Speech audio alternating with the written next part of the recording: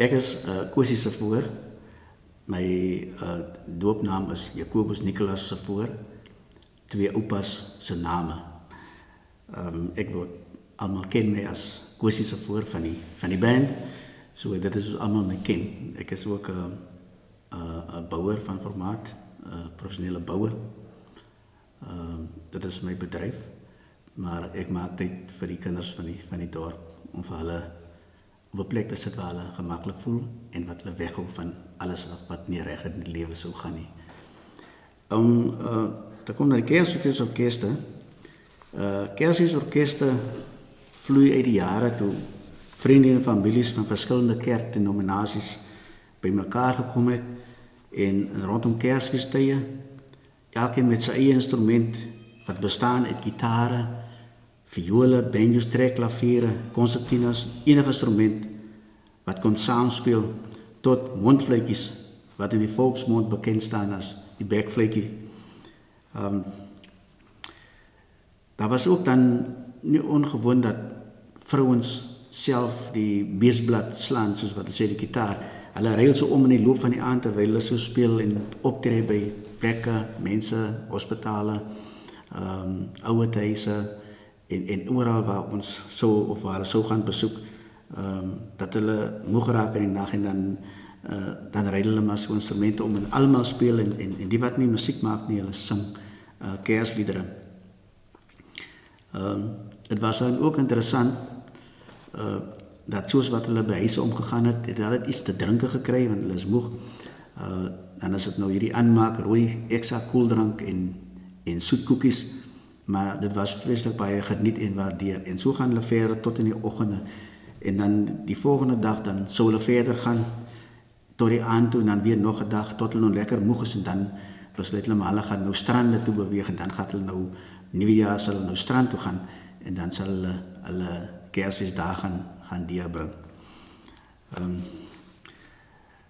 mense het begin kennis neem in die groepe dat daar is ook orkeste op ander plekke uh, wat dieselfde ding doen as wat hulle doen en en hulle het gevoel ons moet ons meet aan hulle en en, en, en ons moet dit miskien in kompetisie gaan met hulle en en sien waar staan ons in opsigte van van kerskore en musiek en so.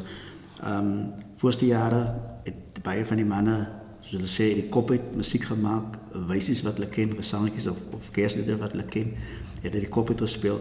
Maar later met die nuwe geslag het hulle begin om om bladmusiek te bemeester en en deesdae speel meeste orkeste van bladmusiek af of dit nou tonic solfa of staafnotasie of die APC is, uh elkeen het 'n manier van hoe hulle van die blad af speel. En dit is ook baie belangrik sou jy voorgeskrewe lied in 'n kompetisie kry dat dat jy ook dit kan bemeester. Na skatting kan daar 50 plus kersfeesorkeste in die Weskaap wees. Die getal is onbekend. Dis sal mense nou weet as mens nou uh begin navors oor hoeveel orkeste wel bestaan, maar daar die hele Weskaap is vol orkeste. Daar's plekke waar 3 tot 4 orkeste in een plek is, maar daar is orkeste. Ehm um, Die Progress Orkeskoor van Swellendam het die naamsverandering ondergaan in 1985 na 'n vorige orkes, Jan Christians Kersfeeskoor wat bestaan het voor 1965. Uh daar was nog 'n Kersfeesorkes by name van Golden Stars wat uh met Jan Christians Orkes saamgesmelt het. Dit is 'n orkes waarby ek aangesluit het destyds. Uh die rol van Jacobus die klasse voor Kosie soos in die volksmond bestaan bekend staan in die dorp in die voortbestaan van Progress Kersfeer Orkees Swellendam. Uh wat het om as jong man aanneem gegee om so 'n uh, verantwoordelike baadjie aan te trek? Uh Kosie gebore 3 Junie 1954 te Kromberg se rivier in die distrik van Heidelberg begin sy skool uh loopbaan op 6 jarige ouderdom by St Barnabas Kerkskool te Heidelberg. Hy reis vir 5 jaar, 5 dae per week per trein skool toe saam met die ander kinders in die omgewing wat saam met hulle gewoon het. Op 7 jaar ouderdom neem sy pa hom per fiets na 'n Kersverkeerskoor kompetisie in Heidelberg. Terug by huis, nog die Sondag aan tree die kinders aan, stop hulle blikkies en stokke in die hand en laat hulle drill. Dieselfde jaar skryf sy pa hom by die Church Lads Brigade as 'n trainingkop in waar hy ook altarbedienaar in die kerk raak. Op 23 Augustus 1965 verhuis hy sy susters en broers saam met hul ouers na Swellendam. Uh hy verneem van sy maats in die klas van brigade en 'n band. Eerste Sondag van September 1965 sleep hy stilletjies weg terwyl sy ouers almiddagslaapie geniet. Noodloos om te sê, nie een van sy maats het opgedaag nie. Hy sou agterna verneem die vergadering is net vir groot mense. Maar groot was die skok toe hy binne genooi word en sy pa wat besig was met die lees van notule agter die tafel aantref en daardie stadium was sy pa die president van die spoorwegwerkers Unie van Mosselbaai tot in Woester. Sy pa het hom gereeld saam na die werkers Unie vergaderings geneem. Uh vir hom was dit baie opvallend die dissipline en algehele stilte, almal luister intens gefokus op elke spreker.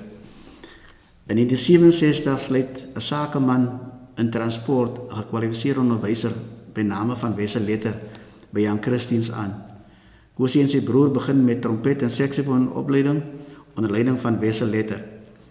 Dan was daar die groot manne wat die die die die stuur gehou het wat nou reeds almal al oorlede is, Goliat Edem uh sy seun uh Boetie ook Goliat met die bynaam van Boetie Suiker, Johnny Jacobs uh aka Johnny Kaptein van wie se seuns nog steeds in die orkes is en van al sy kleinkinders is nog steeds daar en speel 'n baie belangrike rol in die orkes.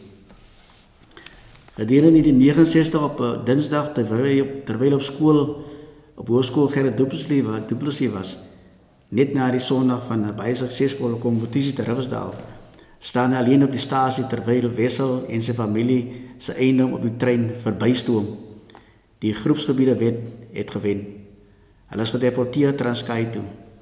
Kosie se pilaar het ingetuimel vir die volgende 11 jaar sou hy net droom van dans. Op 16 Desember 1978 tree hy in huwelik met Patricia Bloemfontein wie hom onvoorwaardelik ondersteun om sy droom te bewaar het. In 1979 keer hy terug na Swellendam en word gewerf deur mevrou Jones Scholes en meneer Willie Scholes om deel van die Progress Orkest te word. Daar is 'n paar aspekte vir die jeug in Swellendam en om 'n instrument in jou orkes te kan bespeel bied vir hulle erkenning en word hulle ook in ander strukture opgeneem. Daar is baie belangstelling onder jong kinders om deel van die orkes te word, maar dikwels is die ouers nie so entoesiasties nie as gevolg van 'n besigheid van fondse. Koos self, self-taught musician, bied musiekteorie en bladmusiek aan en op koperblaas en rietinstrumente. Die orkes is redelik bemind in uh of mededingend in die gemeenskap en kompeteer teen ander orkeste waarvan uh, dikwels lede van die weermag vloot polisieorkeste aan behoort wat as lede van die ander orkeste is en progress Willendam um, staan op 'n goeie plek wat betref uh kompetisie teen hulle. Uh progress het derde geëindig in die in die 2019 um raadsorkes kompetisie van die Suid-Afrikaanse Verenigde Kersfeeskoor uh raad. 'n Fondsinsameling word gehou waar 'n kind en ouers net kaartjies verkoop om 'n bydrae tot reiskoste te maak, uniform en instandhouding van instrumente. Die organisasie moedig aan en werf graag kinders vanaf ouderdom 3 tot 10 jaar wat vatbaar is vir nuwe uitdagings. Voorligting van verskillende perspektiewe word voortdurend deurgangs aangebied. Die fokus op die kinders in hul vormingsjare Kosie noem dat van die kinders wat op 'n jonger ouderdom uh begin al 40 jaar oud is en nog steeds nie die kern van die orkes vorm. Die orkes het al beter dae gehad uh met getalle van tussen 40 en 60, soms 70. Die orkes ondersteun gemeenskapsorganisasies met min of meer dieselfde doelstellings en families tydens begrafnisse wie sigbare belangstelling in die organisasie toon. Die hoogtepunte is die jaarlikse orkeskompetisies waar almal hul beste tentoonstel met 'n musiek en drill met geoefende postuur en eenvormige geklee. Voorwaar trotse oomblikke en baie belangrik vir kinders se selfbeeld. Persone wie 'n groot impak op die organisasie se voortbestaan gemaak het, wie vermelding verdien. Meneer Thomas van der Vent van die Relton Stichting, Basil May, Kathy van Eden Bruce wie gesorg het dat Progress vir, vir bykans 5 maande op Cape TV verskyn het wat bygedra het tot die groot inspuiting van Railton Stichting en bestuur. Vrywilligers wat bygedra het tot die verdere uitbouing van musikante, voormalige kolonel Hopley, kolonel Hopley van van die Kaap, voorheen van Elim, voormalige orkeslid en voormalige musiekdirekteur van die die Kerskoorraad en tans voorsteur van die Cape Country Christmas Bands Union waarvan Kosie 'n mede-stigter lid en tans die president is. Oorlede kaptein Colin Hopley van die Suid-Afrikaanse Weermag, Dr John Helly Hutchinson, uitstaande musiekkundige wie gehelp het met die opgradering van die orkes se musiekvaardighede. Die die Swellnam Senior Sekondêre derde skool huisves die orkes na vir bykans 12 jaar met akkommodasie en stoorplek. Uh Kosie se voorvoel oorweldig met al die bemoediging en ondersteuning vanuit die gemeenskap en sakepersone in die dorp Swellendam. Hy is veral verheug op die oor die leierskap van die jong lede wat sterk na vore tree om sy legacy voort te neem, sy passie. Kinders en musiek is sy lewe en volending. Sy lese rather teach them how to fish than giving them a fish to eat, but provide them with the equipment and the know-how of fishing. Op 'n vraag van Leslie Howard as skryfster in wiese boek hy opgeneem is oor hoe hy sy jare met die orkes sou beskryf. Sonder om te skroom antwoord hy met glinstering in sy oë dat dit was 'n lekker sukkel met 'n reënboog wat nog moet verskyn.